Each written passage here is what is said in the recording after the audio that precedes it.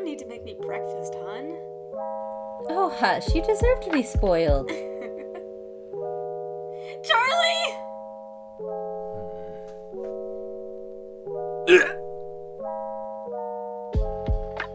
Alastor! You need to fucking do something. They locked me in a closet. They jumped out at Charlie! Now, now, one at a time. What has you lot so riled up? Well, you see, while we're happy Annie has a grasp on her powers, she's kind of been flooding the hotel with spiders. We've received numerous complaints from patrons and the staff, so we were hoping you could maybe do something about it? And you decided to come to me instead of Angel because. We did go to him first! He laughed in our faces and refused to help!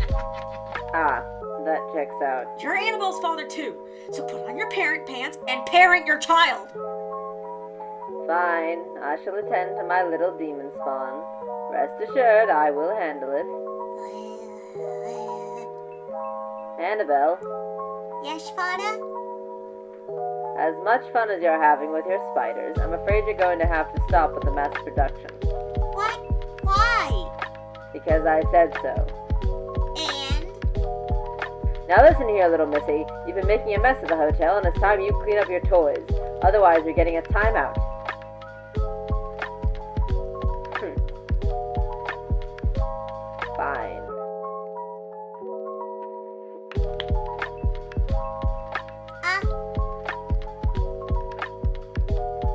You may have your powers back after your timeout. Here, so you're comfortable.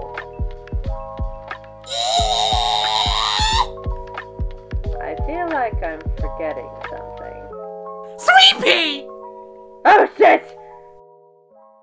Thanks for watching! I hope you enjoyed our video today, and come back for more! If you'd like to support the channel directly, please consider donating to the Ko-fi linked in the description.